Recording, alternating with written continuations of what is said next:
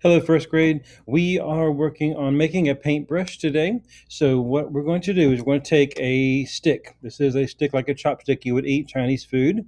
This is one chopstick, a piece of yarn, and very simply, just a little piece of paper with lines on it. Then you get some glue. Okay.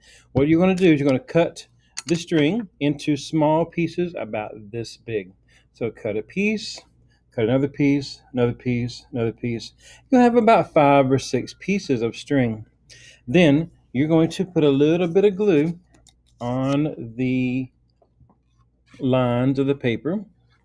Just kind of rub it in until all the glue is all over the paper. Then you're going to glue your string so they're hanging down on the lines on one side. After that, you're going to put a stick on here so that the stick is going one way and the strings are going the other way.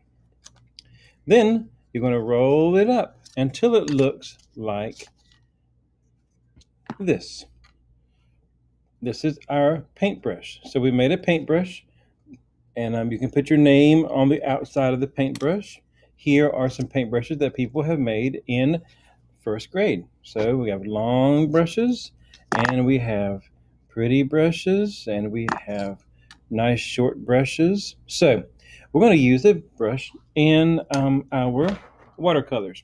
To make a watercolor, you can choose whatever color you want, but you dip your paintbrush in the water and then use the color and then put it on your paper. Today we're making animals, just like our friend Frida did in Mexico. So we are going to make paint animals on your paper using your paintbrush. Now be creative and have fun.